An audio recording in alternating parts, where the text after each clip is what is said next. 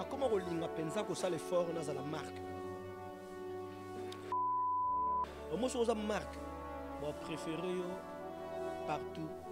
na makambo peu importe oyo ekosengaka artiste azala lokola oza deja marke baoluka bainteresse na yo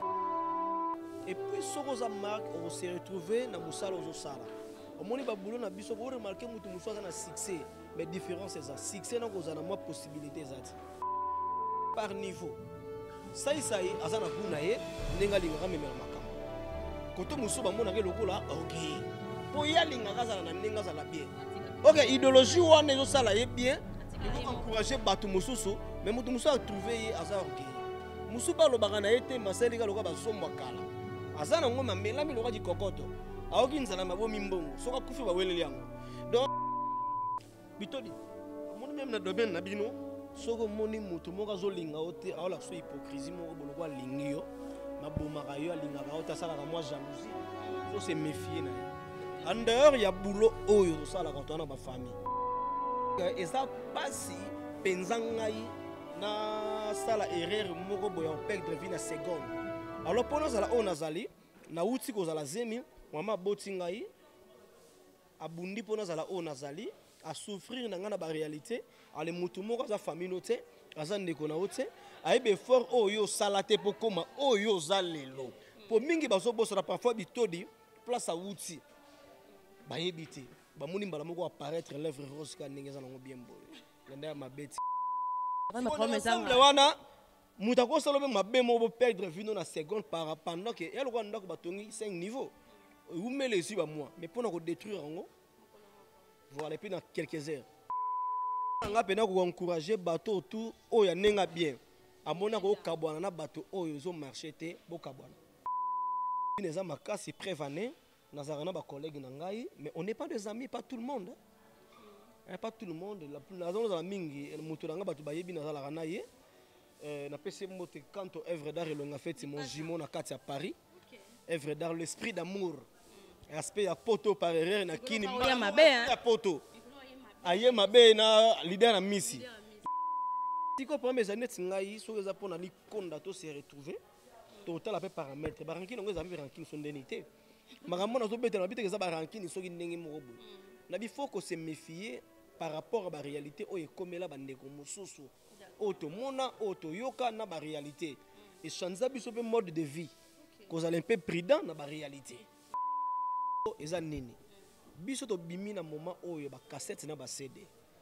eza différent na internet ndenge ye efacilité mpe makambo ebele si ya félicité succès internet na succès ya ndenge bino bozalaki mpena ke non cd mpo moto akesomba ye moko eza différent te biso sikoyo alaki mpena kutu omona benaki te non cd ezotekama mpe elongi ya briefe eza mpe elongi nde mosusu mama top eza mpo le mosusu elongi le mosusu ya buyibuyi to elongi ya mbala osombo to elongi ya saisai to elongi ya phénomène esobe le roi du rire to elongi ya motu moko bato baza ebele en fait to Gianni Fai ve na nga po Firenze moto azo préféré fo va elonga ve Shaba elonga DiCaprio ozo comprendre bidologie wana nous on est le jeune oyo na moment wana mpe ezalaki binaki ete nalingaka jeune oyo voilà voilà voilà eya mpe mabe te biso mpe tokomi mpe produit biloko na biso tobengisi mpe baninga eza nango biso ndenge nini te kutu efacilita makambo ebele na internet yango ebebisi mpe makambo ebele mwasi ya mondinga elengi koleka liboke ya libongo mobali ya moninga elengi koleka liboke ya mpoka o kasi soki bakangi yo na mwasi oyo ya bato e bitodi okosambwa koleka mbongo ya mokombonkini ya elengi ezanga libaza o kalanga elengi koleka liboke ya mbembe o mobali oyo azanga mbongo aza lokola mwasi mabele kpeya o bango mibale baa na besoin ya soutien mm. yanike kini ya ye talelanga likambo yo ye ba jaloux ke bana bato balinga baso bacarrière ya bato baluka barépondre bakutana na kakipaka kokolo esila bokoloba so nene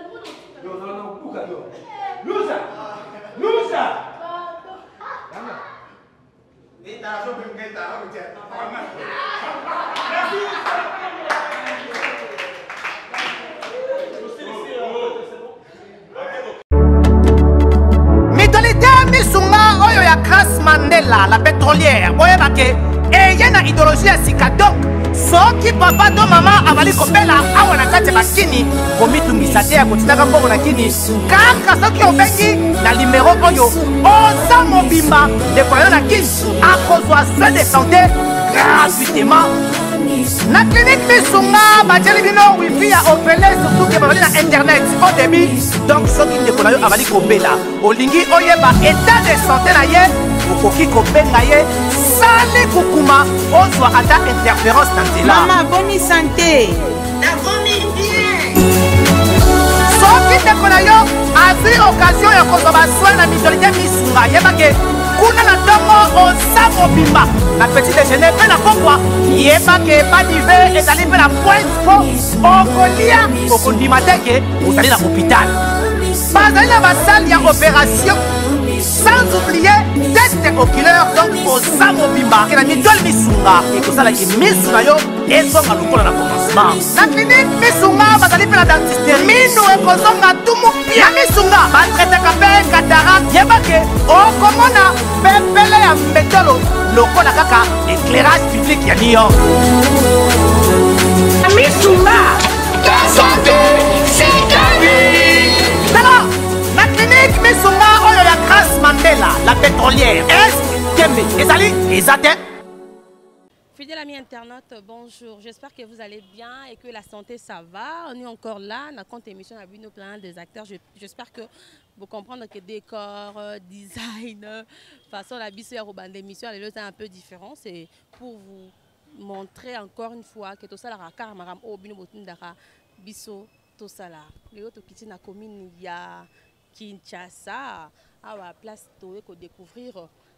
Artiste na biso Brifi la merveille oyo azali moko ya groupe la mama également asepesaka biso na bagage na banzonzing mais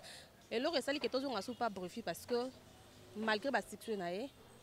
aza toujours na groupe la mama ya président Freddy Mbali Osombo tosepeli koya kosurprendre toyei na rendez-vous na ye en dehors d'ici mais toyei topusi makolo mombango lombango avant ya ya na lie na biso ya rencontre biso topréféré tokóma liboso na siège na bango ya répétition tosolola na ye kaka ndenge ezalaka je sais qu'il sera vraiment étonné mais tosala yango mpona kosala bino plaisir mpo ya mwa biloko mpe préparé ezalaka mwa mbilinga donc euh, voilà je vais entrer na bokasi ya sarive je salis déjà tous mes partenaires oyo bazo continuer kozala na biso ensemble là je pense au grand saoudien michel lamvo depuis lausanne le grand saoudien na biso hein, euh, depuis lausanne pourquoi pas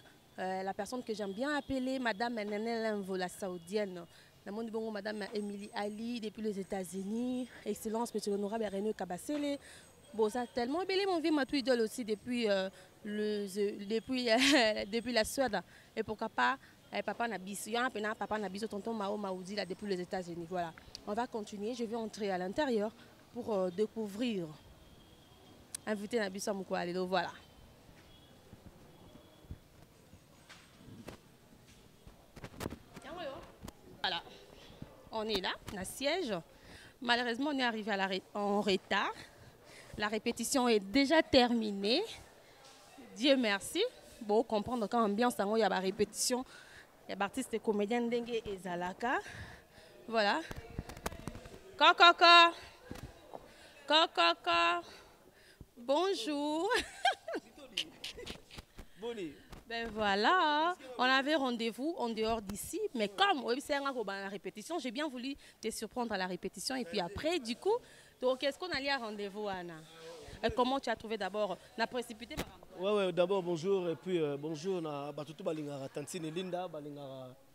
artiste na bango batalaka émission ya falon na bitodi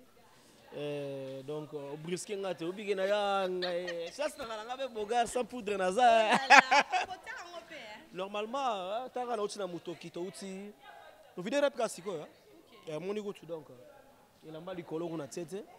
bayebi mo ebele baozela zela nga wana donc voilà donc euh, normalement parce que nazokende mpe na bureau moko rapide fallait to négocier na bango pona publicité moko bo voilà trop sollicité surtout na mamba ba eh makambo esengaka saki eza mopanzi nzambe na plateau oh esengaka nyonso eza ah ben oui l'harmonie exige le couleur hein voilà, voilà. tu es tellement tellement tellement sollicité peut-être il y a des gens batala ko na na minute micro ba parola no mingi na internet na YouTube tout ça tout ça mais na kikini awa trop sollicité na ba pub En fait, euh, eloko mona koloba euh, nakoma kolinga mpenza kosala effort nazala marque omo soki oza marque bapréféré yo partout na makambo peu importe oyo ekosenga ke artiste azala lokola oza deja marque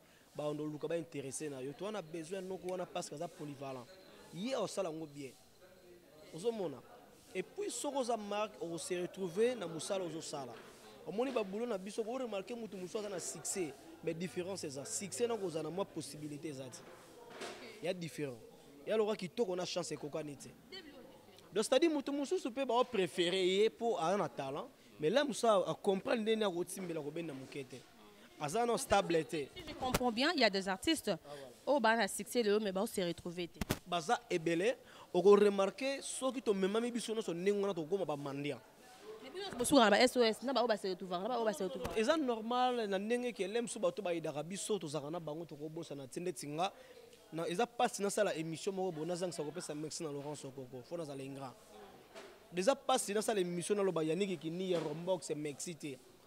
Philo Lumingo Aigle Jaune na Belgique na ozanga Mexité. Succès mais ba mon standing échanger te. Voilà. De ça siko makambo na lobi que chance na kito ekokani te. Moto mususu pe aza na ye na chance ya okuta na ba marché. Mais azoyeba ndenge ko stabilité te ndenge na bifo kozala stable.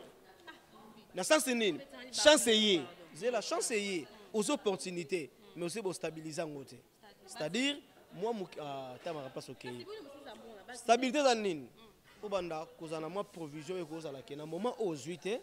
osalaka lokola ezali mm. propriété ezala toujours esenga fo somba elamba mwa polo mwa chapeau ya bien mwa parfum ya bien mwa montre ya bien kaka ndenge ezalaka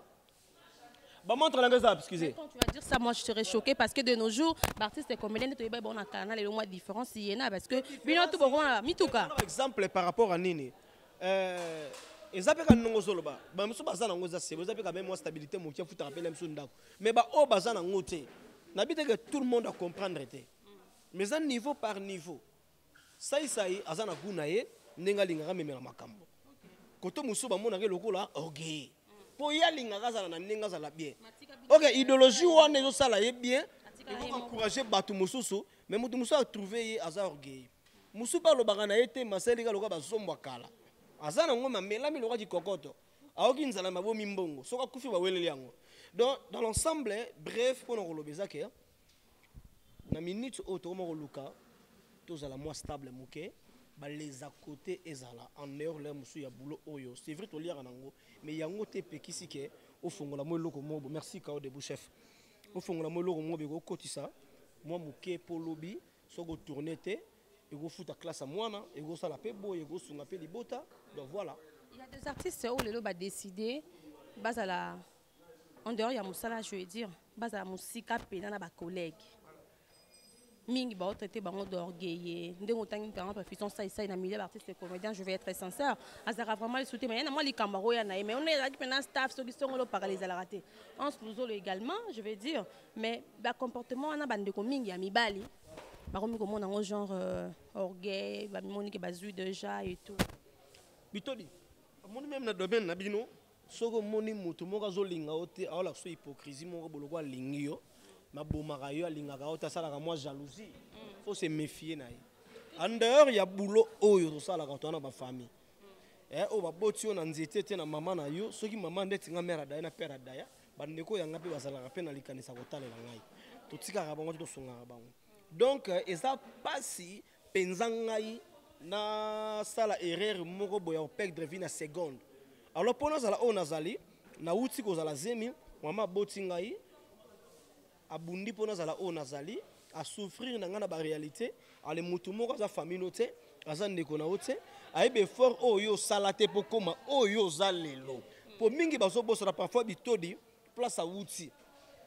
bayebi te bamoni mbala moko apparaître lèvre rose kaka ndenge eza nango bien boye na ndenge ya mabe te mpo tongano touti mwa loin kala ah, ngano mpena touti mwa loin mm. donc euh, mais bato bayebi yango te bamonaka kilelo mm.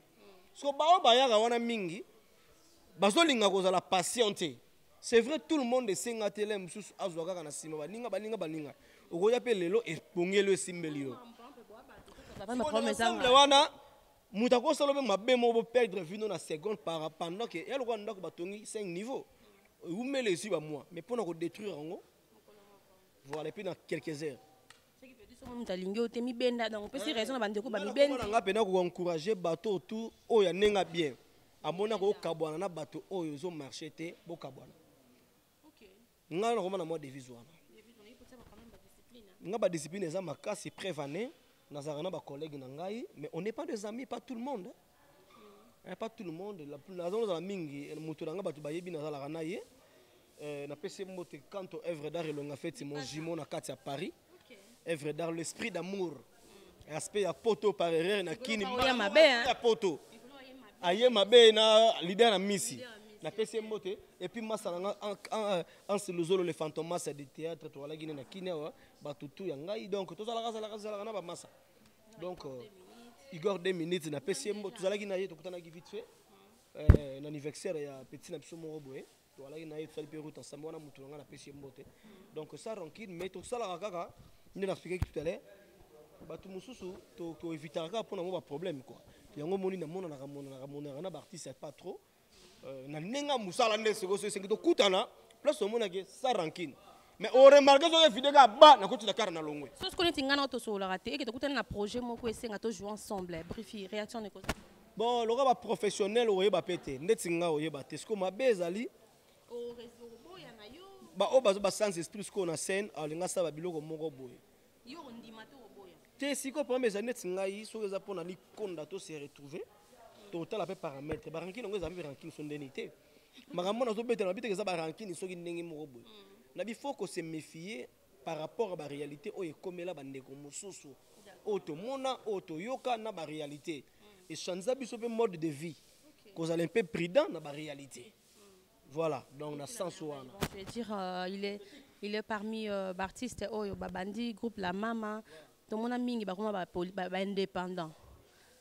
akoti na mbao na nzonzing succès evandi c'est bon atikali ye moko azwi président abwakisi yo soko toloba na 20 ans na groupe la mama mpo batiaka oka chef hein?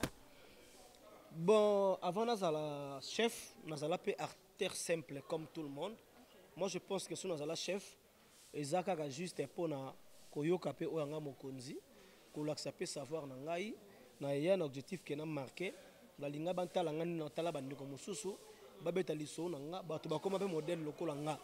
tozala pe lokola brifi lokola tantine linda ekoma mwa idéologie donc c'est quelque part eza babiloko moko boye ya koloba ke naumeli na mosala oyo père na ngai atala mpe amoni abi non mwana oyo azoyoka ngai azocomprendre epuis avenir ezali epuis chance na ngai Ah, voilà. Mais na groupe na bino ba à part yo na na, na nzonzing moto azo se démarquer à part yo azate. Te ba réalité pe zebele. Mona vitesse à lelo président nyoso tout a na politique na ye. Président Moussa amemaka bato te amemi na nzonzing. Mosusu mm. okei yo moko neti nga bamela verité nakosa te esoke mm. te nga bamema nga na nzonzingi te pa président na ngai ezala mama na baguerre kutu eh, eza na bato bafingama mpo nango mais nazalaki na objectif moko nakokondane te parfois ye abandaki koboya ngai na tourne na banzunzing mpo lere mosu amona kaka epeti oyo akokima longwe peut-être baréalité bakutana kutana nango ya baingratitude ya baartiste alors ngai ezalaki ndenge wana te ngai nazalaki toujours eza mosala na ngai oyo nzambe aponela ngai ezalaki teke nzambe asala erreur nasala rébellion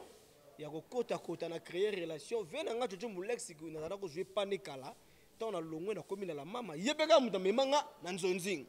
amonisa nga major bisadidi esala mpe kepoto endima efula nga makambo ya ti lelo ye moko lelo nakoma fierité ne ya kolobaka ete voilà mon fils voici mon fils, mon fils. abimisi ngai na poto ba producteur oyo mpe basala banzonzinga danger babimisa nga na bafilme na bango na joua mpe bien obeta masolo opesa baproducteur lelo bacollègue na yo bakoma bango bakoma baproducteur mais ya de chaîne oyo obofi ntango mosusu na atiozobeta masolo eza nini biso tobimi na moment oyo ya bacassette na bacd eza différent na internet ndenge ye efacilité mpe makambo ebele c'est à féliciter succès internet na succès ya ndenge bino bozalaki mpena ke non cd mpo moto akesomba ye moko eza différent te biso sikoyo ezalaki mpena kutu omona benaki te non cd ezotekama mpe elongi ya briefe eza mpe elongi nde mosusu mama top eza pole mosusu elongi nde mosusu ya buyibuyi to elongi ya mbala osombo to elongi ya saisai to elongi ya phénomène esobe le roi du rire to elongi ya motu moko bato baza ebele en fait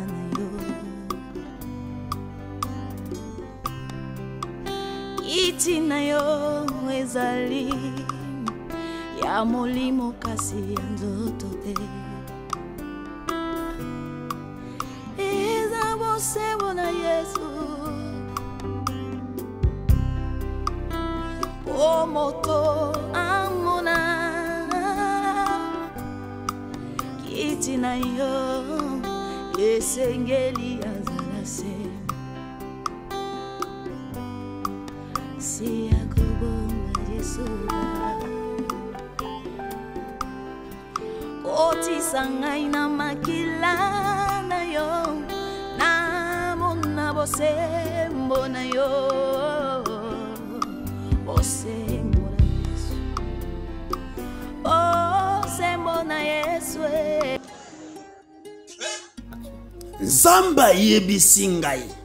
na feti ya kana jésus abongolaki mai vino kasi sali wana bato bamonaki te yamba asufle ngai bikenda na veni luka na direction ya birmanie derrière maison communale ya ngiringiri nde okomona sali wana yango na ye mpo ye nzambe akosaka te mpo ngai nayebisaka nzambe wana so akosi ngai na ye tolobana te eh. Et du nouveau à Kinshasa. la La salle polyvalente Sam chèques met à votre disposition une salle de qualité, conditions VIP, sécurité assurée, tout au bon point. Très très disponible à un prix abordable. Mariage,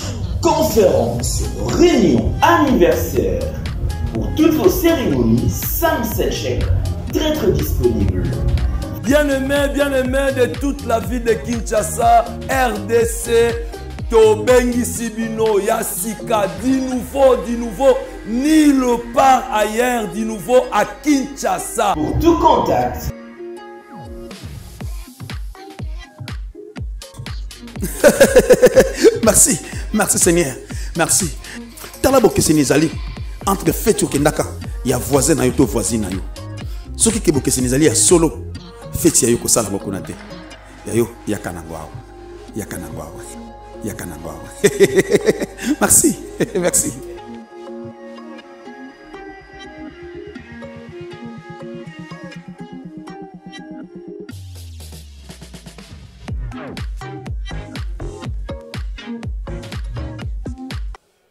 tobengisi mpe baninga eza nango biso ndenge nini te kutu efacilita makambo ebele internet yango ebebisi mpe makambo ebele c'est-à-dire moto aseretraka mingi na internet ya lelo eza kolo chaîne Et puis chaîne eza monétisée ou atalamaka pe na ba ville. Collègue. Wana ba collègue on se retrouve là sous. Ozolanda. Siko là musu ndeko musu abenga mabenga pona ma pas expliquer ngo kombola. Pas expliquer ngai yoza ndeko na ngai tsanga poa tala kaka elo chaîne na bandi sika tala kaka ndenge ezalaka epesa makambo na minute oyo parce que de chaîne alelaka lelaka lelaka kaka mingi je te jure biso tu tolelaka lelaka mpe kaka entre bino bacollègue mais il y a des chaînes j'insiste oyo na biso nyonso toyoka tuna kino oyebo kasi tangelaka artiste oyo bafutaki 100 dollar na tangelaka artiste oyo bafutaki 100 dollar to 150 dollar na minute je bebi mais bellevie tv efutaka bien nalobi yango mabe na babe te napesi ye mbote kutu félicitation bellevie mm. eh, na majabu ça va en tout cas bufi la merveille soki nga nalobi oyo nalobaka entre nous soki tobengalobi na ndenge mabe te nalobi na cadre ya koloba non non non tozala te eza nango problème te baobengana bango oyo tantine elinda ti tozala wana ya biso eloko na biso ebongo babenga tout le monde na babenga te babenga tout le monde te quand même bato baza ebele est ce que eh, bato lem station ya moto nini osepeli nango na madiaba en tout cas natali presque bato ebele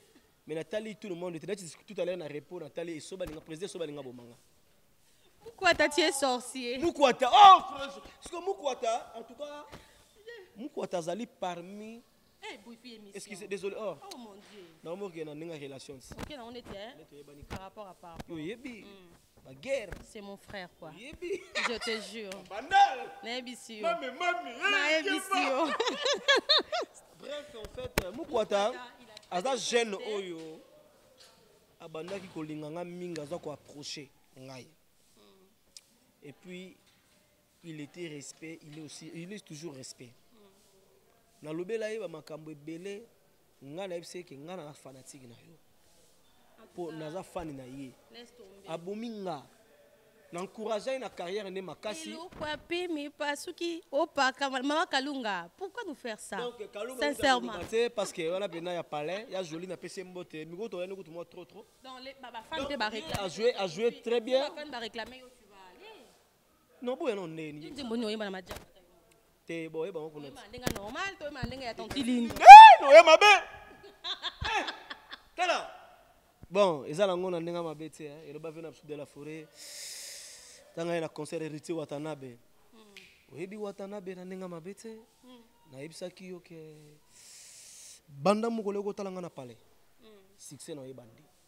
okay. donc na ndenge ya système donc wana noyela bango mabe mpena wana je te jure bo eza nango nakokana so ndeni majabu na ndenge na biso eh, nazoprépare yango te mpo babengi Ah, rien.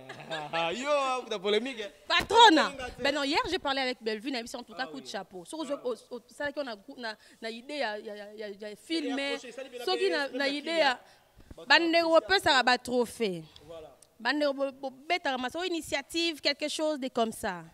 neti majabu pour la toute première fois na kisasa na biso théâtre na mamba bongo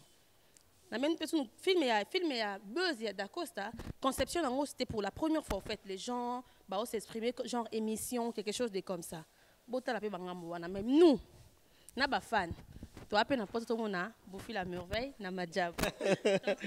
isongolo en fait donc yebaka ye biso oza bato oyo toyaka na matraquage ya bafere mm. nga mpena nalingaka mpena soki na ye omoni nga nkaka motika bato ya bavandi mpena boye e eh, tala eloko tala eloko naboke sukuma ndenge eningisi mokili eh? sukuma ye eh? poto eningani na ye biso elomboto akoki ta deconfine bande kovide mpo tomona sukuma ye mobali ya maboko makasi bazwelaka obembanda e mwasi ya lipeka solo azala koba elengi na mobali ya kwiti ye isongolo ye yanike kini ya rombokse mwasi ya moseka tala nivo na ke amemaka mobali ya piaka na bare te ah. akokende atikeli yo faktire isongo bazigolo c'est-à-dire makambo tolobi na kati mpe yango nazoyebisa na bato tu boconsomme toujours sukuma ye me bayebaka le 25 oyo mm. nazobanda studio olingi basolola yo libango fele eza te parce que tomoni bato ndenge bafonctionnaka hmm. alors eza boulot na nga studio bafutaka yango hmm. kalita clip bo appréciaki wana bafutanaki yango merci na baencouragement na bino reconnaissance mpe ezali hmm. mais bosoutenir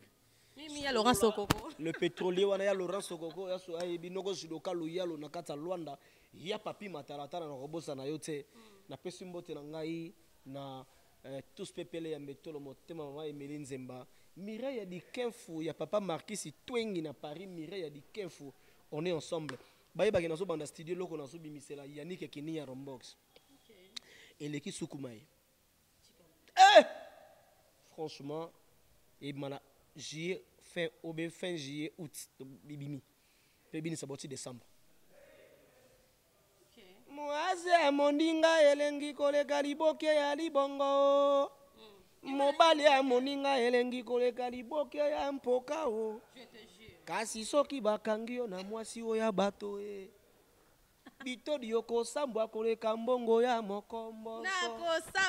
kini ya elengi ezanga libaza o oh. kalanga elengi koleka liboke ya mbembe o oh. mobali oyo azanga mbongo aza lokola mwasi mabele kpeya o oh. bango mibale baa na bezo ya soutien hmm. yanike kini ya ye talelanga likambo oyo ye hmm. motema briside kalanga o talelanga likambo oyo bakulaka o mwasi oyo ya moyibi eumelaka na libala te bandeko kasi soki akoyibela yo mbongo akoumela na libala eyala ile mame o eyala mame o eyala mabe ezali yo tikalaka kote equateur nayebi na nzembo wana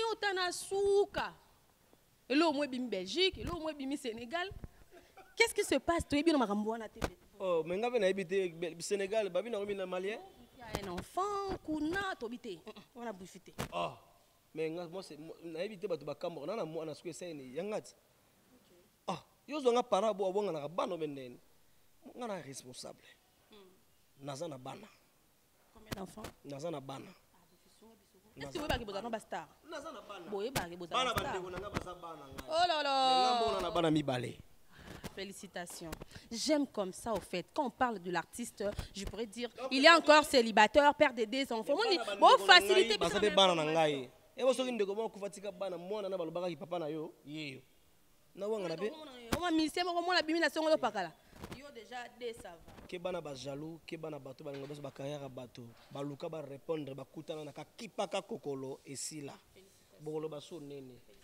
nga nazaka oyo nazali euh, na nabali te mais nazokipe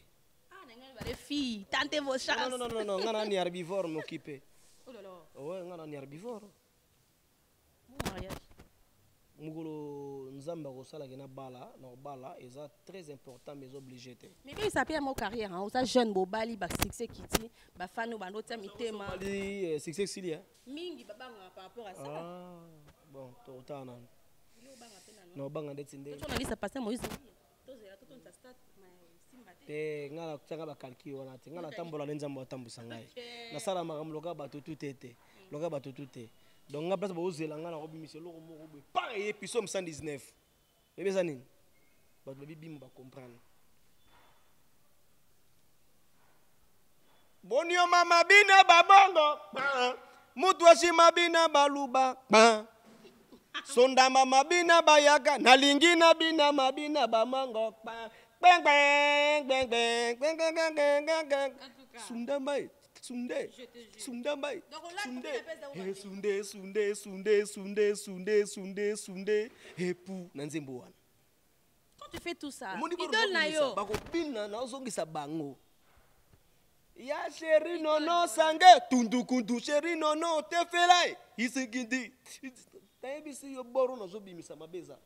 Tu te retrouves aussi dans la musique Ah, musique eza lenge. Hein? Eh, otemi sulu. Théâtre leader aye, leader aye. Yora ba musicien, mama.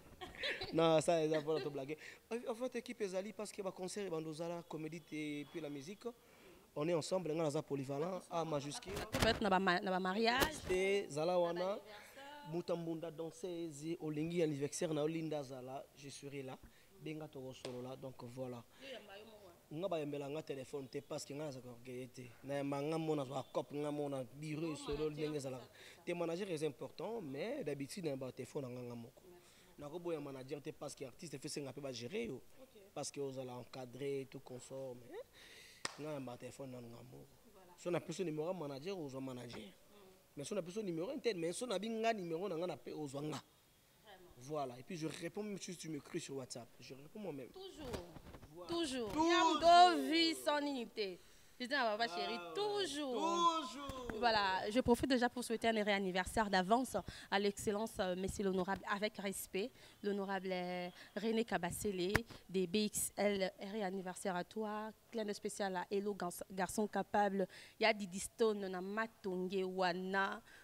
ba lobi toko kota makambo yango bientôt ba soirée zo banda donc euh, voilà il y a des distances je te salue depuis la B la Belgique et pourquoi pas à Niki Chou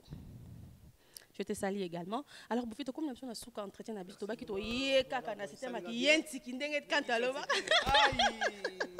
toye na système aki ye ntiki qu'est-ce qu'on peut retenir kanto œuvre d'art tu me manques mon frère tant nzama batelo place ozali ba retenir ki nazobanda studio sukuma eza toujours na terrain et puis bazo continuer merci parce que bazo partager bazo bina ngo na ba fêtes nde ba déconfiner na ba boîte et tout déjà donc sukuma ils ont bloqué comme d'habitude et puis euh, bazela eloko na kobimisela yaniki kini ya rombox le millionnaire silencieux bogar eti na poche so akabeli yo mbongo otikala otongi na nsima otikala okweya makweyaka te azalaka nde na jobur motema malamu un bon tonton motema brigitte kalanga bukasa ye nde nazoyembela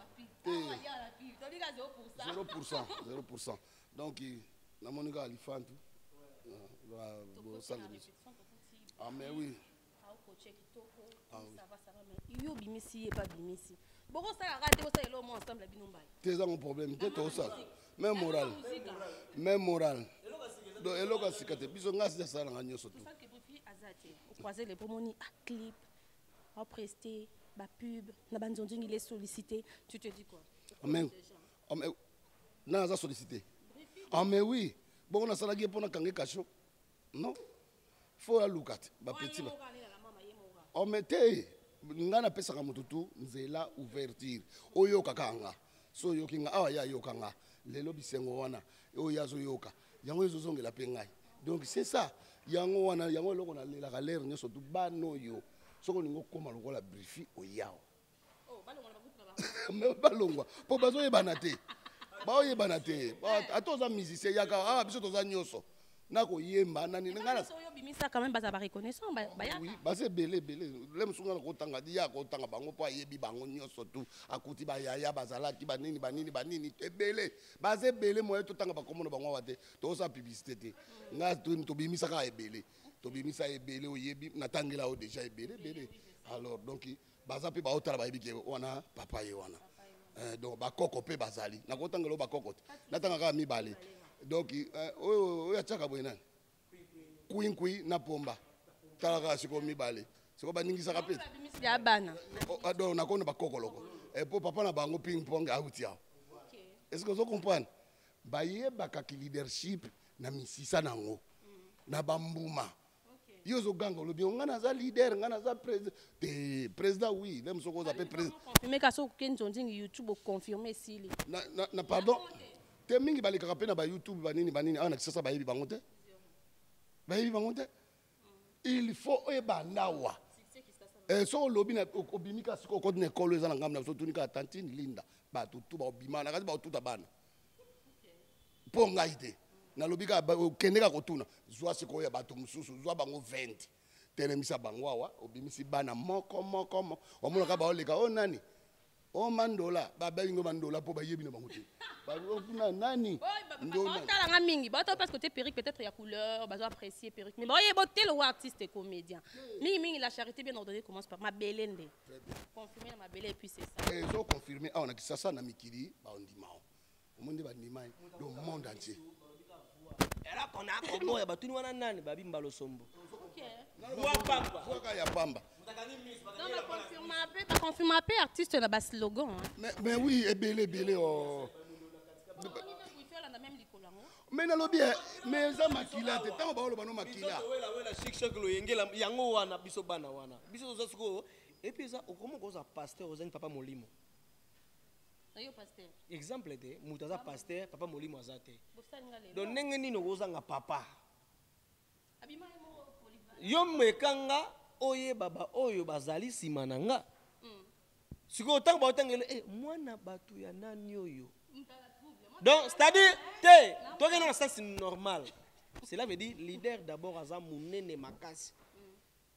oyo congo il faut reconnaitre ba valeur oyo eza vi bazoka ba girafe na kati ya park bavi baloka baokapi oyo mpena moto awuti baye na baye kokotisa mbongo na kati ya park bango baineserose bavi ba banyama moko bati ya mboka na biso oyo baza bien na ndenge ke baolinga basala effort bandi botebika balala nzala te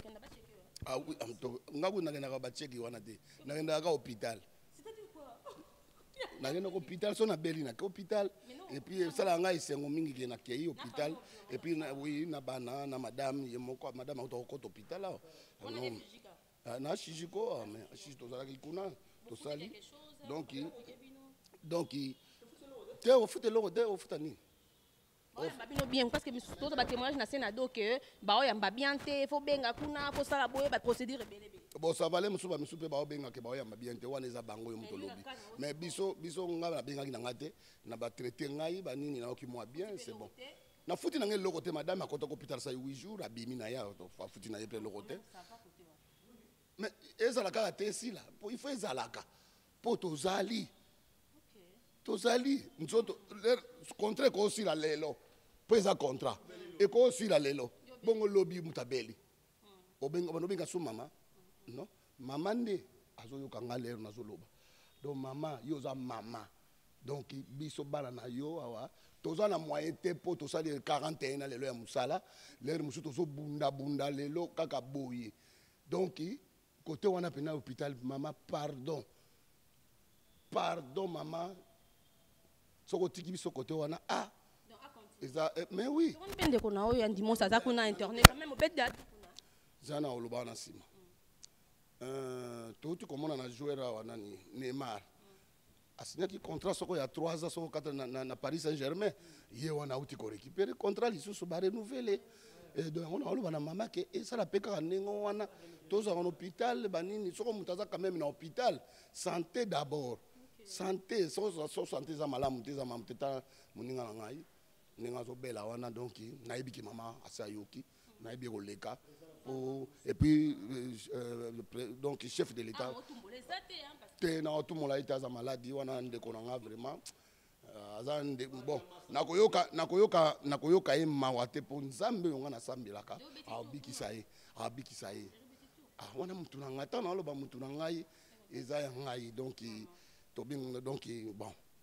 Nzambe apambola eloko eza nango te. Merci beaucoup. On va libérer à Freddy Mbalio Sombo. Tu auras des dédicaces à faire? Ah, ah oui. Et on est en kate na pesi ka mbote na aigle jaune.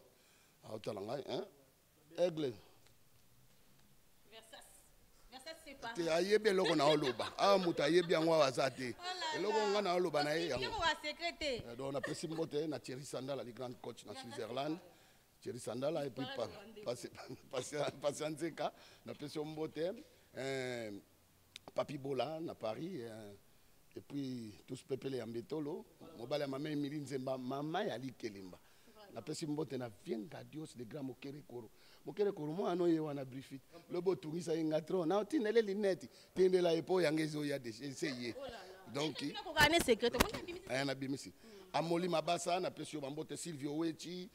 et puis toto monama et puis rose bombula na, na bruxelles napesi yo bambote euh, euh, euh, nani susu michel bongumba eh, mwasi oyo ya mongo ya mokuse mokila eh, aleki mokila nyoka na elengi et puis napesi mbote na père basi père basi na bruxelles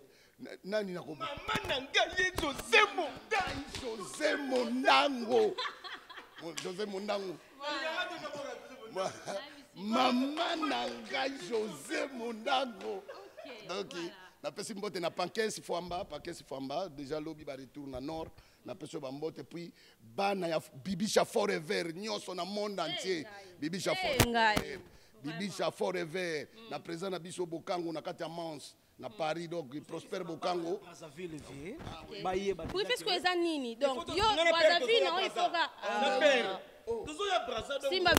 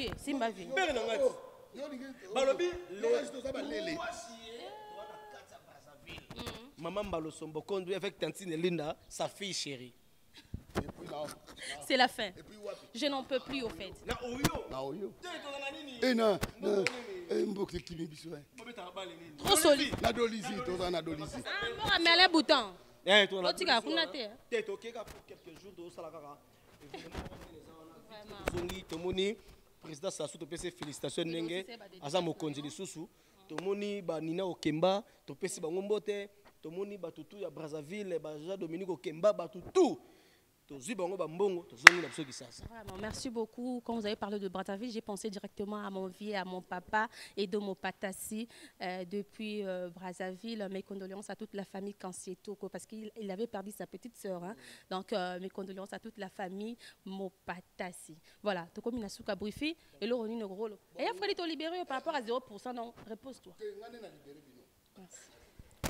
ye fo nandima parce que yo kau par rapport voilà alors euh, brufit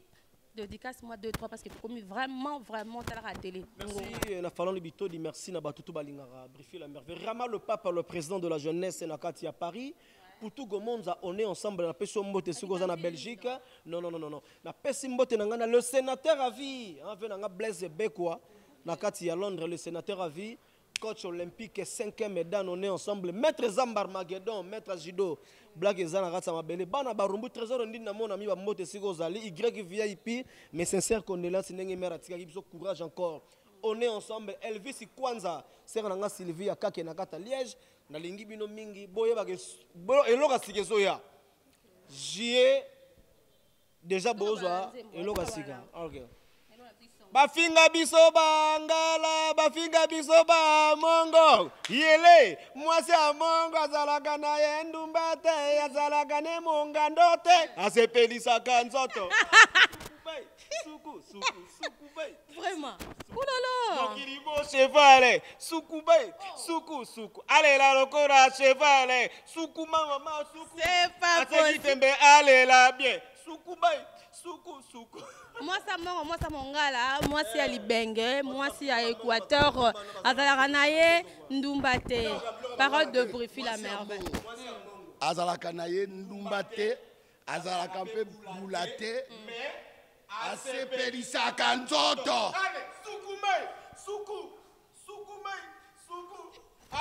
c'est la fin